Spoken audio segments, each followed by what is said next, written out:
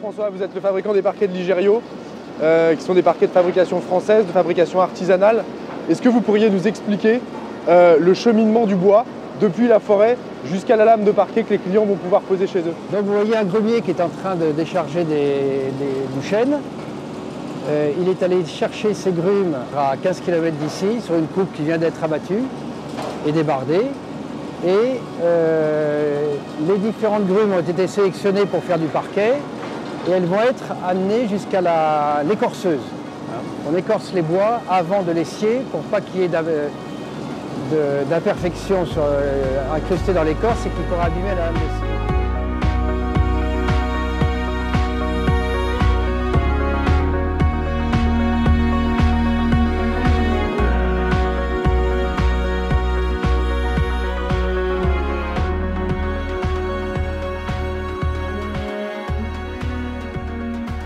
François, le bois euh, a été livré, il a été écorcé. Et maintenant, on va faire les planches qui vont être la base du parquet, c'est ça? Oui, alors là, on a une grume qui est une grume avec des nœuds, euh, donc qui n'est pas propre à la menuiserie, et on va plutôt faire une charpente avec ce type de bois. Euh, il se trouve qu'un de nos clients nous a demandé une section particulière. On va, dans cette grume, scier la section particulière de charpente qui est demandée. Et vous allez voir qu'autour de la, de la charpente, on va avoir des planches qui vont tomber. Et ces planches vont servir à faire du parquet. Donc comme François nous l'a expliqué, certaines planches ont des nœuds, certaines planches n'ont pas de nœuds.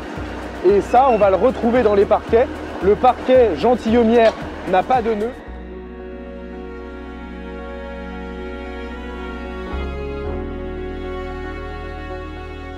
François, les grumes euh, ont été euh, sciées, sont devenues euh, des planches de bois brut.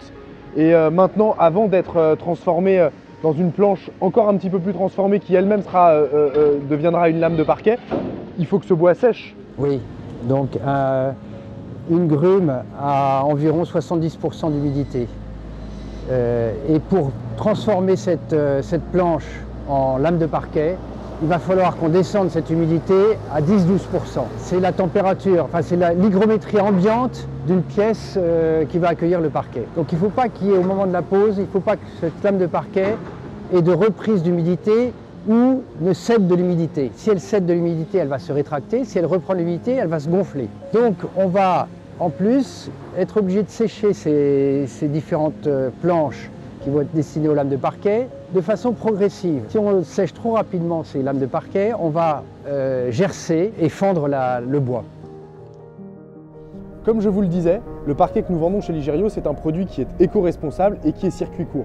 Car rien n'est perdu dans le bois. François va nous expliquer ça. Lorsqu'on va scier ce- ce- ces grumes, la première partie qui va être récupérée, c'est la sciure. Il y a des aspirations, des- une tuyauterie qui amène cette sciure à un grand silo. Ce silo euh, permet de stocker et d'acheminer cette sciure dans la chaudière. Et la chaudière elle-même va permettre euh, de fournir l'énergie pour sécher les bois. Comme disait Jean, la partie extérieure, la dose, euh, qui comporte beaucoup d'aubiers. Elle va être mise en fagot et des camions viennent des papeteries et chargent régulièrement pour transformer en pâte à papier. La partie, lorsqu'on fabrique une charpente, la partie extérieure de la grume, entre l'aubier et la charpente, ce sont les fameuses planches qui vont permettre de faire du, parquet. Donc on peut dire que rien n'est perdu dans le bois, tout est transformé, tout est utilisé, on ne coupe pas des arbres pour rien.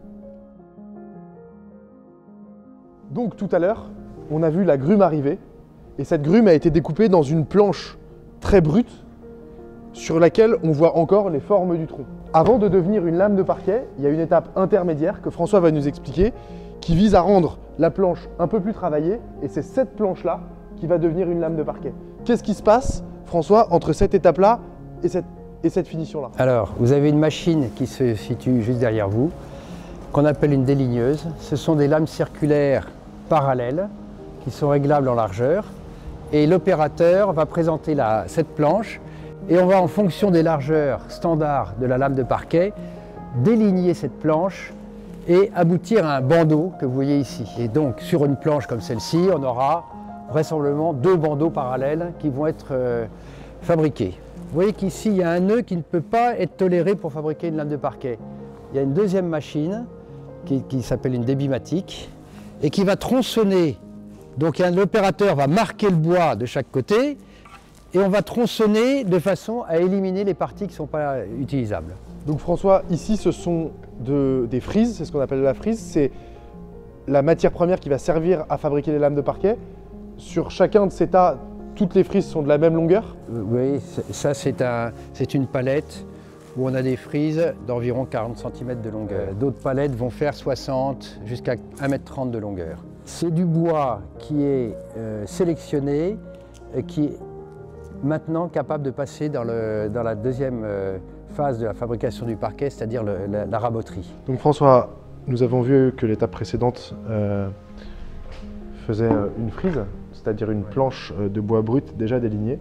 Est-ce que vous pouvez nous expliquer quel procédé amène de cette planche de frise, cette planche de bois brut, à cette planche de parquet finie prête à poser, rabotée. Voilà, donc ici vous avez ce qu'on appelle une frise brute de sciage, euh, épaisseur 27 mm, euh, avec une largeur de 150. On va la passer sur une première machine qui va être une dégauchisseuse, qui va permettre de rectifier la planéité globale de la, frise. Et une deuxième machine ici, voilà, on va introduire la planche de cette façon-là. Et ici, on a une machine avec 8 portes-outils et un certain nombre de rabots qui permettent de transformer cette planche en bois raboté. Elle va être rabotée en dessous, au-dessus et sur les côtés. Sur les côtés va se former, par le simple passage dans cette machine, la rainure et la languette. On va ressortir par l'autre bout de la machine. Ici arrive euh, la lame de parquet rabotée. Il va manquer une opération, c'est la rainure et languette en bout de lame. Donc on va arriver dans une deuxième machine qu'on appelle une tenonneuse double.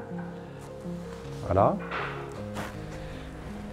La lame de parquet avance dans cette direction et après elle va partir dans cette direction dans la machine. Et dans cette tenonneuse double, les outils vont faire l'opération, la simple et petite opération qui consiste à faire une rainure et une languette dans le bout de la lame. À la sortie de la teneuse double, il y a un tapis qui ramène les lames de parquet vers la, table à rouleau que vous voyez ici. Et les opérateurs vont pouvoir confectionner les bottes de lames de parquet qui vont être prêtes à la vente.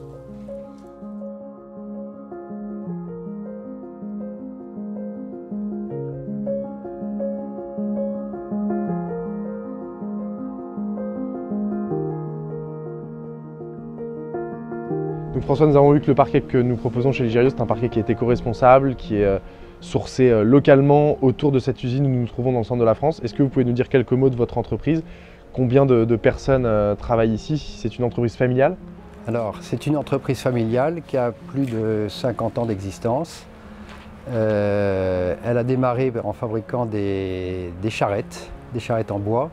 Et pour fabriquer ces charrettes, une scierie s'est installée et euh, maintenant, l'activité de charrette a disparu et la scierie est demeurée.